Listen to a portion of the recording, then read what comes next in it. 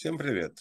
Сегодня суббота, 8 октября. Меня зовут Ренат Хасанов, и мы выходим с нашим еженедельным обзором финансовых рынков от сайта FT Invest. Ну, в целом, э, неделю эту мы себе, конечно же, ставим большой плюс. Э, нам удалось предвидеть движение как российского, так и американского рынка. Тут и там, и там мы достаточно вовремя осуществили продажи, в общем-то, близко к максимуму локальному. Ну и вот э, в целом, конечно, рынок ведет себя не очень, но ФТ э, Инвест э, успешно справляется с текущими сложностями. Ну, посмотрим, как мы будем делать это и дальше. Э, значит, смотрите, наш индекс ftnvest.ru не показал ну, больших изменений, впрочем, как и э, индекс Мосбиржи. При этом э, и у нас, и у Мосбиржи был достаточно неплохой рост. Ну, вот там э, в пятницу произошел очередной обвал российского рынка, но об этом поговорим, когда будет график соответствующий. В общем, Наши результаты неплохие. Э, мы тут закупились акциями «Газпрома» по полной программе. Ну, вы уж извините, если вы сливаете э, все подряд э, по, по каким-то смешным ценам, можно покупать ну, по сути, деньги, да, не понимаю я, зачем все это происходит, что такое в головах у людей сейчас наступило. Ну, мы поступаем, как поступаем. Что произошло в Америке? Здесь у нас, а, смотрите, произошел э, рост, ну, почти там на 4%, даже больше. А, при этом американский рынок лишь, ну, знаете, как это формально показывает, ну, в принципе, плюс, плюс 1%, он вот так вот находится, в таком вот положении. И то, что он не упал там до уровня э, закрытия прошлой недели, это говорит лишь о том, лишь о том, что, во-первых, было ралли в первые два дня, а во-вторых, он просто еще пока до него не дошел. Может быть, он об него сможет опереться, но тем не менее. Здесь то же самое. Мы продали практически все акции в Америке. Там у нас осталось 4. И то мы их не продаем, ну, потому что, ребята, смысла нет это фундаментально недооцененные, сильно недооцененные бумаги, ну, которые и так, кстати говоря, сильно упали. Они продолжают падать, что характерно, да. Но мы здесь считаем, что ну, ловить нам там низ, там какой-то еще, ну, смысла нет. Они, ну, пускай будут снижаться, ничего страшного, да. То есть основной это портфель мы продали, поэтому, в общем-то, наши результаты, вот эти плюс 2,5% по сравнению с SPX, да, это вот результат того, что э, мы вовремя осуществили продажи, увидели изменение технической картины на рынке, ну и соответствующим образом э, сохранили э, большую часть своего капитала. Но повторяю, то, что там четыре акции болтаются, ну, болтаются, пускай болтаются. Да. Я не вижу необходимости в этом, да, там, каких-то там делать вот таких вот движений, да, и там тоже. Потому что всегда мы должны понимать, э, почем, почем, в чем достоинство стратегии «купи и держи». В том, что рост недооцененных бумаг может произойти ну, практически в любой момент. Понимаете? И какая-то положительная новость, еще что-то, да, э, раз, и все взлетает. Поэтому ну, с большой неохотой вообще продаем-то наши бумаги, которые в нашем индексе есть. Но вот те, которые оставили, во-первых, там уже большое снижение произошло их. Э, они все ни, ниже, ниже, ниже. То есть они становятся все более и более привлекательными. То есть это так же, как, например, акции «Газпрома» в России.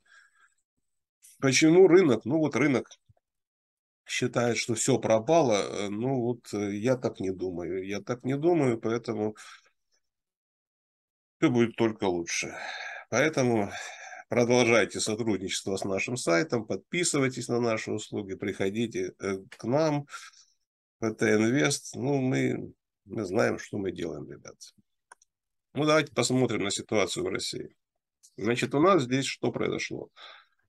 Вот где-то вот здесь вот мы продали. Где-то вот здесь вот мы продали. Мы продали три ликвидных акции, то есть продали практически весь свой портфель Б, но мы оставили «Газпром». Остальные, то, что у нас осталось, ну, это акции средней и низкой ликвидности, которые тоже стоят неимоверно дешево. И тоже как бы смысла вот их в этой ликвидности, в, в, эти, в эти игры там с теханализом играть здесь точно нет. Ну, тем не менее, вот смотрите, мы освободили наш портфель. Э, и в пятницу произошло достаточно ощутимое падение. Я считаю, что это падение и было именно связано с техническими причинами. То есть рынок брал, брал вот эту вот синюю линию, эм, но не смог взять в итоге, да, и откатился назад. Еще на, на него воздействовало вот почему-то вот этот э, дивиденды Газпрома. Ну, я не, не до конца понимаю, что такого страшного вы ждете. Ну, даже если он упадет в понедельник. Ну и что, да? А, во-первых, сама доходность э, достаточно приличная. Даже если мы ее полностью сейчас потеряем, ну, день, два, три, месяц может пройти, понимаете, все ситуация может существенно измениться. Вы должны понимать, что таких оценок, как сейчас на российском рынке, ну, никогда не было. Ну, может быть, было, но это было там э, в 2015 году, допустим, да. Но опять же, и тот же «Газпром» не демонстрировал таких финансовых результатов. Газ стоит дорого. Знаете почему? Потому что «Газпром» ограничивает поставки до этого момента, ну, я не знаю, когда этот момент наступил, ну, где-то в 22-21 году, э, они понимали, что раз действует формула, по которой там э, цена на газ привязана к некой нефтяной корзине, там еще к чему-то, э, ну, то ему, Газпрому было выгодно всегда продавать столько, сколько ну, было возможно, понимаете? Поэтому всегда шел максимальный объем. Но Европа изменила эту формулу, э, предпочла а, спотовые цены. И сейчас вот эти спотовые цены, э, ну, они по сути находятся на столь высоком уровне, что, конечно же, можно ожидать их снижения, но вы поймите, э, ну, буквально два года назад э, не то чтобы таких цен, просто даже никто не представлял себе близко даже такой картины, а «Газпром» все равно был прибыльным и вы боитесь там какого-то разрушения прибыли этой компании, ну, я не, не до конца даже понимаю, в чем здесь причина этого. Э, ну, там, что подорваны какие-то трубопроводы, ну, они и так не работали, с другой стороны, понимаете. Но оказывается, там не все так уж печально подорвано, э, кое-что осталось, понимаете, то есть все можно включить, уже сказали, там Северный поток-2.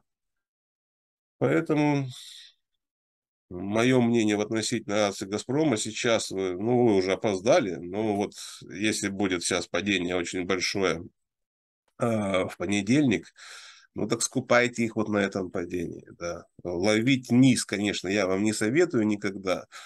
Э, лучше дождаться технической модели. Э, ну, я, ладно, я так и быть обещаю вам в наших новостях, которые мы регулярно публикуем, если будет новая техническая модель роста «Газпрома», я вам ее обязательно опубликую. Так что российский рынок, смотрите, находится в целом в негативной зоне, да, и поскольку мы ждем с вами обрушения акций «Газпрома», ну, в понедельник, то, может быть, даже вот этот уровень 1840 не устоит. И мы будем искать новый низ, ну что ж, будем искать новый низ. Я подчеркиваю, в нашем портфеле все в порядке. У нас э, большие дивиденды мы собираемся получить. Мы получим дивидендов столько, сколько примерно занимает один слот. Ну, то есть, вот примерно вот мы как-то раскладываем акции, да, один средний ликвидный слот э, в нашем портфеле. То есть, фактически мы приобрели э, за счет этого дивиденда, приобретем ну, вот дополнительную какую-то целую целую акцию, да, вот такую достаточно приличную, понимаете, то есть, э, по-моему, это было правильное решение. Даже если временно мы будем испытывать какие-то здесь сложности, э, ну вот, знаете, фундаментальные факторы все равно возьмут свое. И то, что вот сейчас произошло, вот с такими ценами, и еще там на, на закрытии мы купили даже «Газпром» по 201 рублю, а закрылся на 195. Ну, то есть, можно было еще ниже купить. Ну, вот ладно, не купили, ну, ничего страшного. Да. Поэтому российский рынок будет падать, ну и где-то потом мы с вами нащупаем новое дно, но наш портфель остается в том виде, в каком остается, ну, достаточно облегченном таком, да, ну, посмотрим, что будет дальше. Так, ну, смотрите, э, теханализ у нас работал, э, который мы вам представляем, работал практически везде. То есть, единственный график, где не будет э, работающего теханализа, это будет график нефти. Смотрите, доллар рос в соответствии с технической моделью, которую мы вам ранее показывали. То же самое происходило и с юанем. Но здесь э, все-таки э, вот э, в пятницу сформировалась разворотная модель. То есть сейчас уже рубль э, смотрит вверх по отношению к китайской валюте. Ну, можно спекулятивно э, там, продавать юани, там, покупать рубли, смотрите сами. Далее нефть, рынок нефти э, и вообще все мировые рынки, э, они по сути находятся под тем же давлением, от которого я вам говорил, под давлением роста процентов ставок США, за исключением нефти. Но в нефти, видите, произошло событие такое неординарное. Э, ОПЕК плюс увеличила, сократила, точнее, свои поставки на там, 2 миллиона баррелей сутки. Это очень большой объем. Э, э, и по высказываниям я так понял, что э, фактически никто ничего не будет, ну так прямо сокращать. Ну, поскольку и так предложение нефти сокращается. А, поэтому вот рынки начинают это, это вдруг осознавать. До этого они этого не, не думали об этом. Да, вот все сливают, они же все сливают, смотрите, да. Все сливают для того, чтобы купить облигации США, которые падают. Бред, конечно, но все так и есть.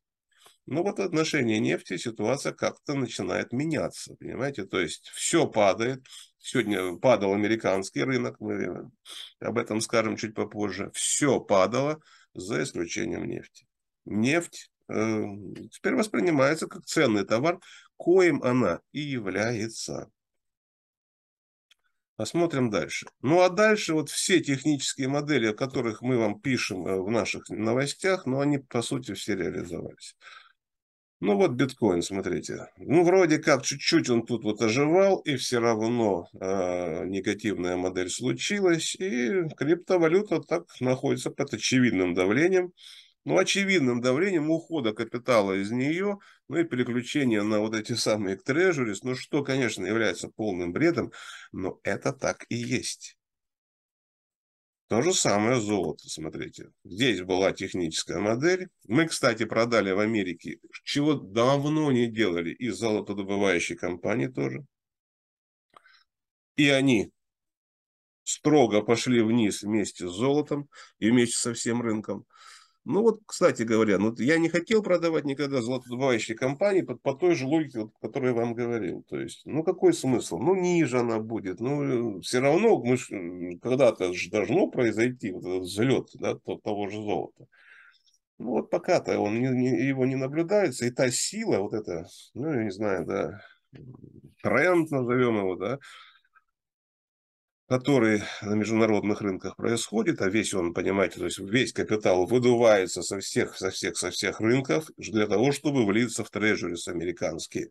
Э, но это очень странно, но это вот такой, такой факт, понимаете. Я не знаю, что будет, если они достигнут, я повторяю, 5% доходности. Все рухнет, да, но э, пирамида американского долга должна будет сохраниться, что ли. Ну, вообще-то, когда-нибудь, когда-нибудь э, э, какое-то понимание придет, как оно, как видите, вот пришло с нефтью. Ну, не исключено, что нефть тоже здесь, смотрите, там начнет потом где-нибудь снижение. Мы тут увидим очередную модель техническую вниз, э, так как все равно вот это давление, оно идет. То есть оно по большому счету, э, черное золото справилось с трендом, с которым справиться по сути невозможно. Ну и вот, что происходило, смотрите. Доходность вновь развернулась вверх. Мы видим с вами, причем техническую модель роста доходности. она сформирована была чуть ранее, но мы э, не пишем про, про облигации США почти что в своих, ну не пишем, да, в ежедневных наших новостях, но тем не менее, вот смотрите, э, модель сложилась вверх, вверх, потом дальше следом идет американский доллар, то есть ну, по сути своей, такой же в точности график, индекс доллара, все, все, все дороже и дороже становится американская валюта. Там э, мы сейчас с вами, наш э, новостной фон лишен международной повестки дня почти что, да, но э, ну, известно, что падают все валюты по отношению к доллару, и это становится проблемой, поскольку они же там, поймите, за доллар это должны закупать, например, ту же нефть, что-то ценное, да, оно все равно торгуется за доллары. А, а доллары все как пылесосом забираются, да, забираются, забираются, вот чтобы в эти трежери э, получить там некую 3,8% годовых, ну, при инфляции там 10, ну, тем не менее они все равно падают. То есть э, тренд этот, ну, конечно, он может развернуться. Вот здесь, смотрите, уровень вот этот 4, чуть выше 4 он здесь, конечно же, может и устоять, но тогда развернутся опять акции, скорее всего. Но тем не менее, вот э, ситуация такая вот странная. Почему-то весь мир находится в зависимости от вот этих облигаций, да. Ну, это говорит о том, что и вот весь этот вот э, рыночный порядок может тоже как-то потом видоизмениться. Ну и американские акции, смотрите, здесь э, модель э, негативная, я вам вот эту вот ее показал, да, мы продали где-то здесь, да, в общем, и большое обрушение рынка опять произошло, но, смотрите, новое, новый минимум находится вот здесь, до него еще не дошли, поэтому, ну вот формально, смотрите, вот эти вот эта разница вот здесь и здесь, да, вот это где-то полтора процента. И формально американский рынок за неделю получил доходность, ну, хотя, когда вот так вот все смотрит вниз, я, ну, такого оптимизма, может быть, не стоит э, испытывать. Но, тем не менее, скорее всего, вот здесь будет борьба вот за этот минимум. Э, посмотрим за ней. Э, если он дважды будет пройден, тогда, ну, тогда мы продолжаем, будем продолжать оставаться в той позиции, в которой сейчас, то есть с четырьмя акциями в Америке. Если какие-то изменения технические произойдут, мы вновь нарастим свой портфель. Ну, не знаю, там по полной программе или нет. В целом, э, негативная ситуация в России, ну, я вам объяснил, почему, да, в Америке вот технически такая, да, нехорошая, ну, еще и, повторяю, все находится под давлением растущих процентных ставок, то есть э, падающих облигаций, иначе говоря, да, поэтому Посмотрим на ситуацию, как она будет развиваться. Но пока в целом прогноз на неделю негативный. Спасибо за внимание.